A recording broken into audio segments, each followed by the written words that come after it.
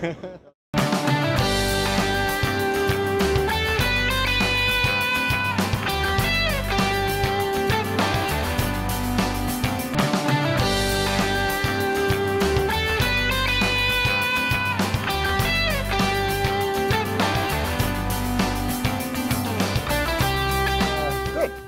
Hi. We're getting around to see uh, Hewlett Packard's labs, right? HP's labs now. It's not really Hewlett Packard. Well, it's, it's HP Labs, exactly. And so we figured if you're seeing the labs, we're going to get you down into the lab and who are where you? we make things atom by atom. Okay, so I'm, I'm Phil Kuekes, and I'm, I'm a computer architect. And normally they never let computer architects in where, you know, this equipment is for the physics. what is this, first of all? So this is a scanning tunneling microscope. Yeah. It's a device with vacuum inside it, higher than that in outer space, in which we can see individual atoms, and furthermore, we can create new materials, kind of atom by atom. Yeah. And why do that? Why, why is HP do, trying to do that? The reason HP is trying to do that, uh, I'll go back to a conversation I had probably in 96 when, Yeah. when a friend of mine at MIT pointed out that if Moore's Law kept going for a few more years, we would shrink to the size of atoms. Yes. So Moore's law is the Moore's number law of transistors is the number of chip- transistors going up and up and up because they go smaller and smaller. Okay, and so the question is, as you get to the size of atoms, being well aware of that, because that's what's given us this whole electronic world, what are we going to do about it? Yeah. And the real problem is the physics changes when you get to the size of atoms. The classical physics isn't there, we got to use quantum mechanics. So I'm in a lab called Information and Quantum Systems Laboratory. And we're trying to use the basic laws of physics to reinvent computing. Give me an, a, an example of what's different at that scale than in our in our scale that we can perceive here. So the biggest single thing that's different is that electrons and quite frankly light, photons, can be both waves and particles. And while a particle, electron, which is a good approximation, can't go through a wall, an electron can tunnel through empty space as a wave. And in fact, that's how this microscope works. It actually has electrons going through empty space. Now, if you're building silicon transistors, that's terrible because it means that as we get them smaller and smaller, the electrons can tunnel across an off transistor and you can never turn it off. And so these things leak power like crazy. Yeah. So how do you solve that? So what we're doing is we're taking advantage of something we discovered called memristance. The fact that, you know, classically there are resistors and capacitors and inductors. And in fact, just like transistors, you build them in the factory and what you get is what you made. With memristance, it turns out that based on the history of the voltage or the current going through it, its properties start to change over time. Okay. And so we can change them deliberately. So, for example, I can take a little bit of memristive material between two nanowires, Okay. and I can turn it from a conductor to an insulator. That's from a one to a zero. And it won't go back when I take the power away. Interesting. So it's more than interesting, it's a cure for frustration. Yeah. Okay? How did you Because- guys dis- discover that? And uh, you discovered it in that room right over there, right? Well, we, we took the measurements in the room over there, and basically we discovered it by working really hard to make stuff at the atomic scale and then carefully measuring the properties. And, and because of, you know, we got, as well as computer architects, chemists, we got good theoretical physicists here, and they said, hey, quantum mechanics predict this. Can you guys really see it? And one of the things that was really unpredicted, except for a long time ago, that there was this memristance, uh, is what would the mechanism be to change the properties? Yeah. And the mechanism is we're literally at the atomic scale. When you're only a nanometer apart, okay, that's somewhere between three and 10 atoms, Yep. the electric fields are strong enough to start to move individual atoms. Ah. And when you move the atom, it's like rebuilding the electronic device, Yeah. literally changing it. So, for example, now that we're at the atomic scale, we can build incredibly dense memories that when you reboot your computer, because they're non volatile, won't go away. Okay?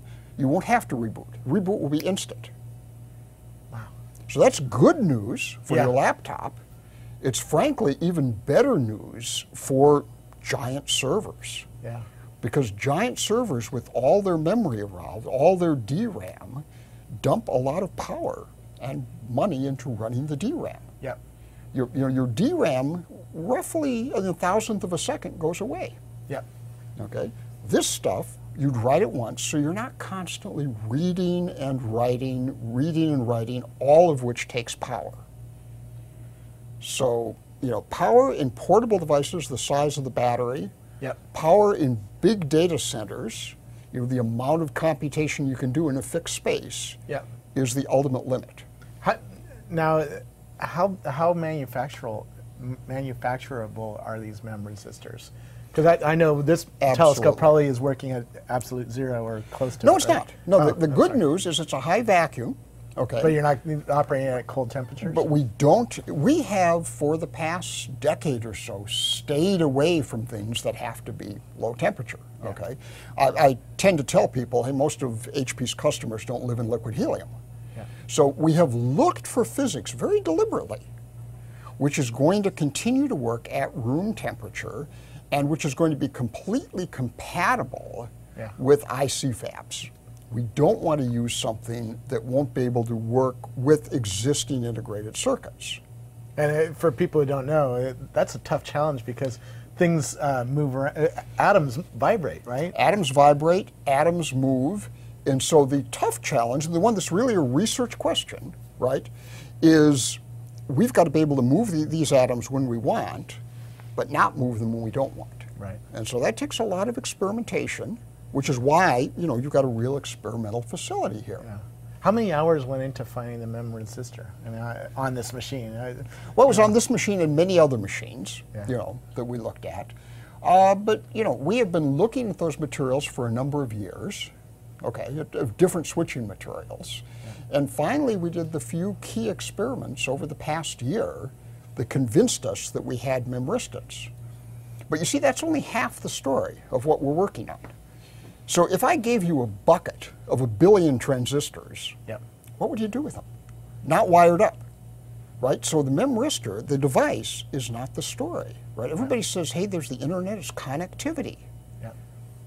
Anybody watching this on TV, okay, on the internet, most of the distance the signals went is in fiber optics. Yep. And then in the very end, you know, they get into their house, it's electronic in the computer.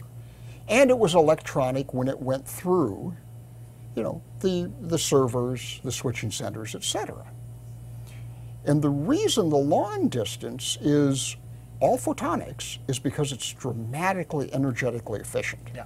Much easier to send photons through glass than to try to charge and discharge copper wire. Yep. Copper wire takes away a little electricity each foot. Well, it does two things. right? Number one, it's got resistance and it takes it away. And number two, when you turn it on and then turn it off, you've got a capacitor charging up and then charging down. And that all consumes energy. So we are also making a huge push in our laboratory, not just to do the devices, but to do the wires, to take metal wires and replace them with light. Now, the big problem has been, and, and by the way, the reason, you know, that for cables, right, you see all kinds of cables, uh, if you build something out of cables, you've got to connect them up individually. Yeah. And of course, the integrated circuit is all about not doing that. Yeah. You, you, you print them, right? It's Yeah. lithography, okay? We are inventing methods to apply Moore's law to photonics. Can you In put a little have- laser in, uh, at that scale? well, the answer is you can put a laser in, but but I ask you when you look at your laptop, okay, does it have a, a generator and a diesel generator attached? The answer is no. Okay, so we have plans where the power comes from a laser, and then we distribute it optically and we modulate it, right? So there's no reason that every chip needs a laser. What the chips need and what we need going from board to board, right, is the ability to modulate, to turn the light on and off, Yeah. and to detect it at scales which are the same as today's transistors. So if I look at the uh, DLP uh, chip that's inside the HDTV projectors Right. that lots of people have in their home, Right. those are millions of little mirrors They're that little are flipping mirrors. back and forth, right? Is that what you're going to do? Is put a little Well, a bunch of little mirrors? no, the problem is those mirrors, right, are much bigger than the wavelength of light. Yeah. And when you look at the wires in your chip, right, if you pop the lid off, okay, they're much smaller than the wavelength. So how do we do it? How do you? And the, and the answer is with techniques like nanoimprint lithography, we can actually make waveguides which will be roughly the size of wavelength of light. Now the problem is that's not good enough because it turns out modern chips, right, the electrical wires are in fact much narrower. And so where I had one optical waveguide, I might have 30 or 40 metal wires. So how do I win that back? Other than power. Clearly it's more power hungry. And the answer is light comes in different colors, different frequencies. Yeah. And while I can't send different electrical signals at the same time down one metal wire, I can send them down one piece of glass, basically. Using different okay? colors. Using different colors. Do you have infinite ability to to? Well, it's not infinite, but we're talking about, you know, dozens, hundreds, okay? And then the problem is, of course, you can't build a prism to split them off. That's way too big. Yeah. We have to build a filter, okay, that tunes very finely, and it has to be not much bigger, right, than a few microns big. Wow. And so what we end up doing for that highly resonant filter is we build ourselves a racetrack, okay, and the light goes round and round it, and you know, if if the time to go around exactly matches the frequency of the light, the wavelength, it resonates. It stays there. And so rather than bounce light between mirrors to keep it there for a while and to build up its strength, because mirrors absorb too much, we literally trap it in a ring, which we make in not this laboratory, but one at the other end, the other side of the clean room. We trap it so that for over 10,000 times it goes round and round. And as it does so, it builds Is up that like a piece of glass then? It is a, a piece of, of, of silicon usually, or quartz. Okay, so we use we love to use silicon as a material. Yeah, right. because right. it's cheap. It's inexpensive and it's totally compatible, right? Even though we're using quantum physics, we want to make this stuff real, and so it's got to be compatible with you know the chips of today, right, and the chips of tomorrow. How did you guys discover that? Well, I mean, HP Labs is, is an unusual place, right? Uh, we talk to lots of people when we, we, we, have people who go and give lectures at universities as well, right? So we're in contact with the latest research. We're doing some of it ourselves. On the other hand, we talk among ourselves a lot. I mean, you'll find individual departments at universities very often will never talk to another department. So, you know, we've got physicists and chemists and electrical engineers and computer programmers all talking to each other. And then again, we really talk to the really good engineers in the, in the bulk of the company inventing new products to say, what are your real problems? So there's a lot of talking back and forth. And so, uh, how many years is it going to be before we see a chip with that kind of technology that you just described? So for the In a- in our own laptop or our own photonics whatever. thing, we are looking on a relatively short time scale, and we're looking for under under a decade to get that in. Okay. Let me tell you why you'd care about that. Okay, if we can do it, and if we could push that technology eight or ten years from now into every server, okay, the world would save 21 gigawatts. Per year. Yeah, no, giga, gigawatts is like your, your meter, it's not Yeah. per year. It's just that's equivalent to 21 nuclear power plants we never have to build, or 21 giant coal-fired plants that the world never has to build. And, and by the way, we're going to have to do it because that savings, if you actually took that power and tried to do it with copper, you'd melt the chip. Yeah. So what we're doing is we're saying, hey, the laws of physics, if we keep doing what we're doing, are going to stop us. Okay? But those are kind of classical physics. You know, let's look at quantum mechanics. Let's look at the basic laws of physics, you know, at a level that we can see individual atoms and find another way to do it. When you joined HP uh, 17 years ago, you said? About 17 years ago, yeah. Did you have any clue you would be doing this kind of work? Well, I'll tell you, as soon as I got here, I liked it. Okay, so, so the answer is no. I've worked on many things. I didn't know I'd be doing this. But this is a place where, as you look around, you see people doing all kinds of interesting things. Um, we didn't know till we discovered it that we would discover memristors. Had no idea. Okay, having discovered it, it turns out it has some very strange properties that, as well as changing hardware, may change the way we think about software. How so? That's one of the furthest out. Rather than open source software, we want to steal from biology. And they're steal from the way brains work, not digital computers. It turns out when you look at the equations that govern a memristor, they look an awful lot like those that govern a synapse in the brain. And so we think we're going to be able to build electronic synapses and essentially then learn from biology. You know, I mean, DARPA with the Grand Challenge, right, Yeah. worked really hard to make cars drive. Yep. But you watch a bunch of squirrels running around, they don't bang into each other. Yep. Right? They can navigate. If we could do what biology does, not like the pharma companies who are stealing the chemistry, but there's several hundred million years of algorithm development Yep. by evolution.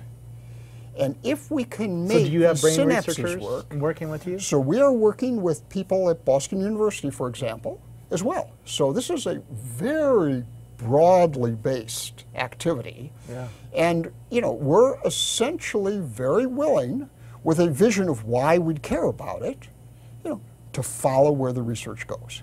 Very cool. Well, it's been a real honor to Okay, spend some time with you, and We've enjoyed it. I hope you uh, do figure out how to make some of these chips and put them yeah, in we'll computers. see. We'll, we'll um, so stay tuned. We'll, we'll see.